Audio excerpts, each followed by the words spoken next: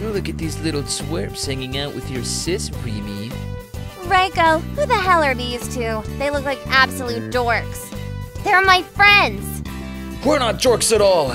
Even if you're a girl, we'll beat you up. Huh? Beat me? I'll snap both of you like twigs.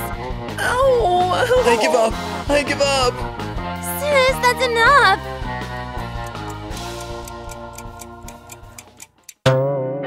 You guys are still here? Do you want me to beat you up again? Losers. Ha! Our powers have doubled since the last time we've met. Double my act? You guys are still weak as hell. Oh, ow, ow! I, I give up. Looks like nothing's changed. Huh? Where'd my date go? Scary. I think he ran away.